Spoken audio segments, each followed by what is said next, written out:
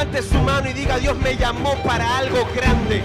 No importa lo que tú haces, lo que importa es la excelencia que tú tienes en lo que haces. Porque donde hay excelencia, la grandeza se manifiesta.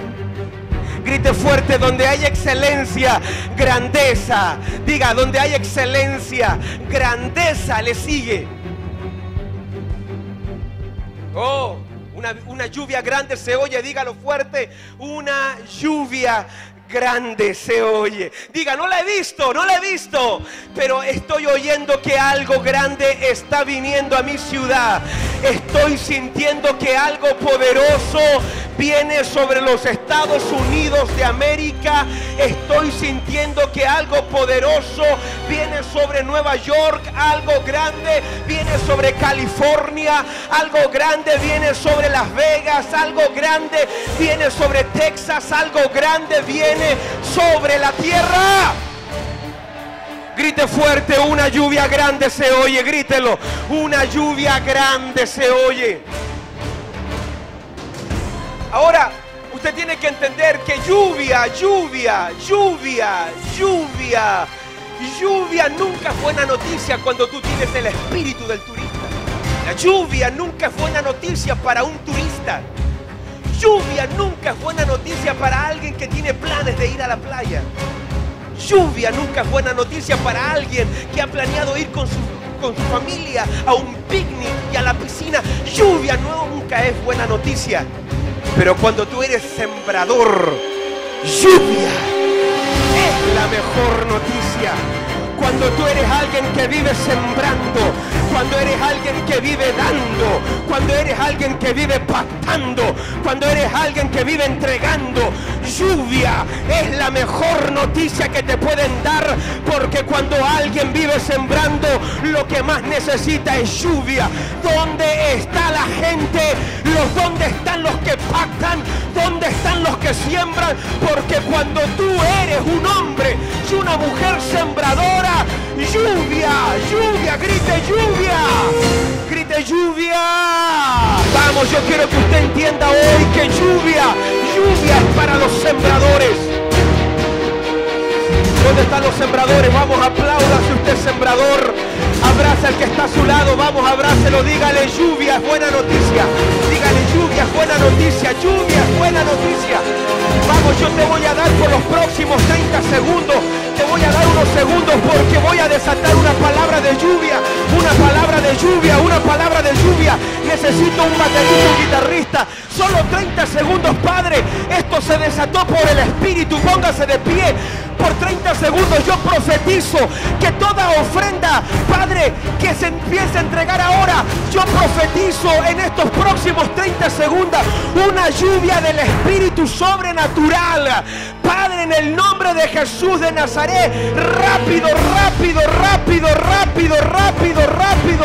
Padre, yo declaro que en estos próximos días viene una lluvia sobre tu iglesia, viene una lluvia sobre tu familia, viene una lluvia sobre tu estado. Vamos ahí donde tú estás. Comienza. Yo sé que pasaste, pero por los próximos 30 segundos yo profetizo que una lluvia grande se oye. Tienes 20 segundos.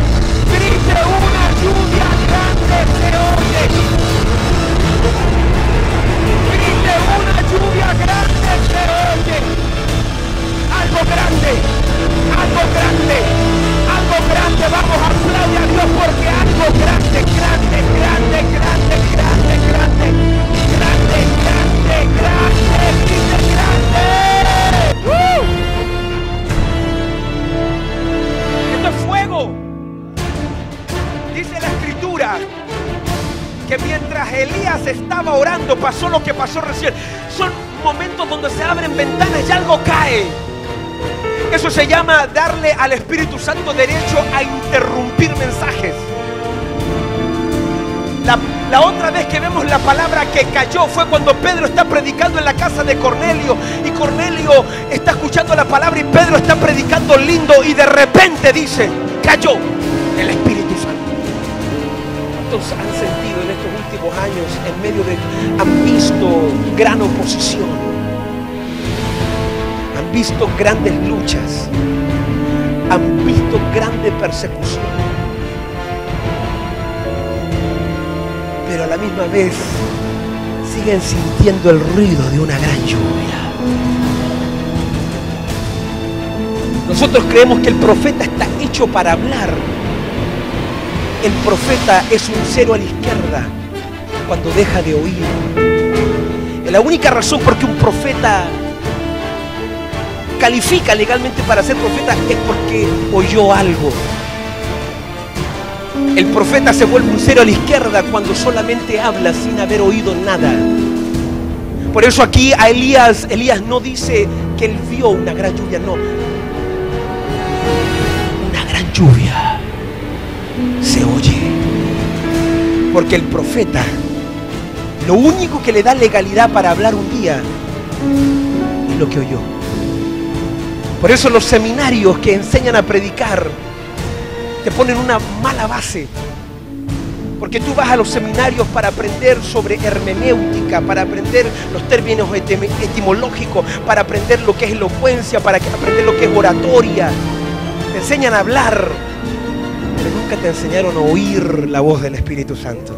Yo no sé si puedes sentir que sobre Nevada algo grande. No sé si se puede escuchar que sobre Texas algo grande. Yo no sé si puede escuchar que sobre Kansas algo grite grande. Yo no sé si puede escuchar que sobre California algo. No sé si puede escuchar que sobre Nueva York algo grande viene. Yo no sé si puede escuchar que sobre Florida algo grande. Yo no sé si puede oír que sobre Chicago algo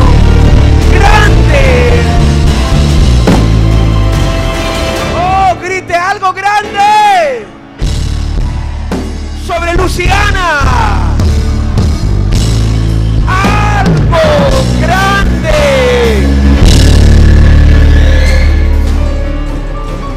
en medio de los huracanes, en medio de terremotos, en medio de atentados terroristas, que nunca las noticias tengan más poder en tus oídos que lo que Dios te dijo un día.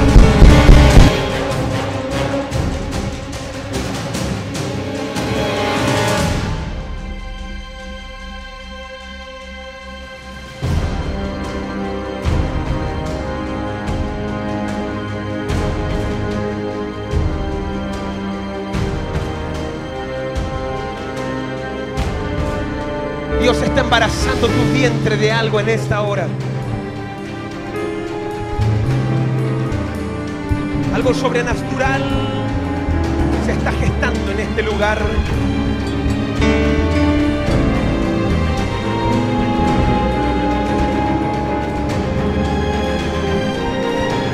Porque aunque el latinoamericano ha sido perseguido en esta tierra por este último tiempo, la razón por qué se ha levantado tanta ira, tanta rabia, latinoamericano es porque en estos días el pueblo latino va a jugar un papel determinante en el avivamiento más grande de los Estados Unidos, porque hay una oración poderosa